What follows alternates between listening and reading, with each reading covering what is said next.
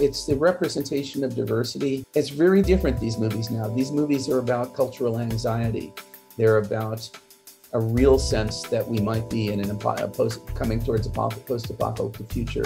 There's real anxiety about the hypocrisies of religion and politics, uh, fear of loss, fear of loss of identity, fear of the world around us, uh, like the lost daughter.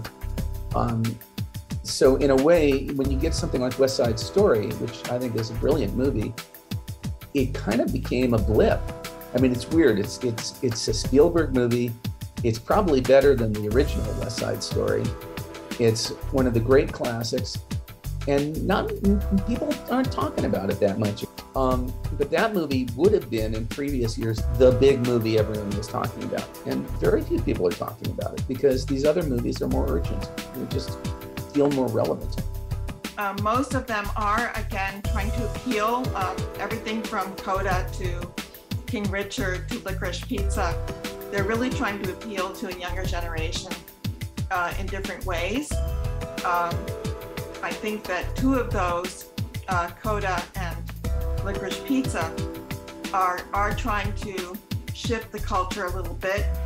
First, in terms of considering who can perform in a film, and you know what is the, what how do how do films communicate? That would be the case of Coda, or um, should recognized actors is that necessary as a vehicle for a film getting nominated? And that would be the case of Licorice Pizza, right? That you're not working with, first, you're not starting off with star power there's an attempt to uh, either take them back in time and to imagine themselves growing up in a period that really preceded them and that they didn't know firsthand, uh, which would be licorice pizza, but or, or uh, to get them to think about how to strive in their lives or what they're aiming for.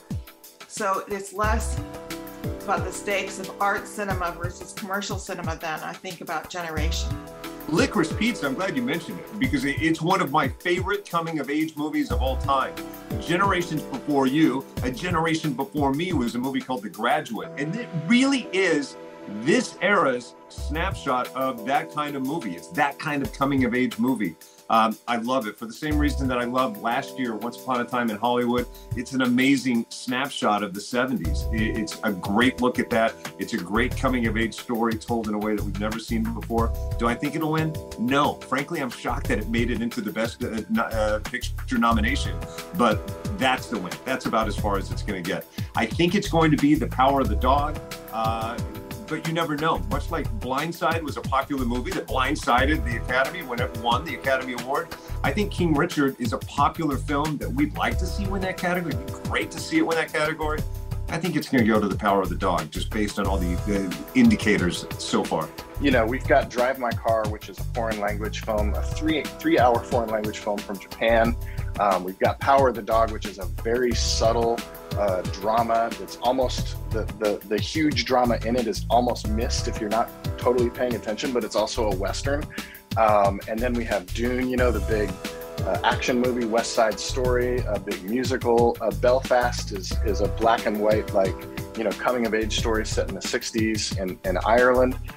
I mean, it's just a lot of different type of stuff, and I think mostly that's because we were at home last year and you know the the uh, streaming services have really hit hard uh, with some with some quality films this year to try to uh, bring a semblance of normalcy back to uh, an industry that was pretty much decimated the year before. Um, they're back this year and they're all over the place.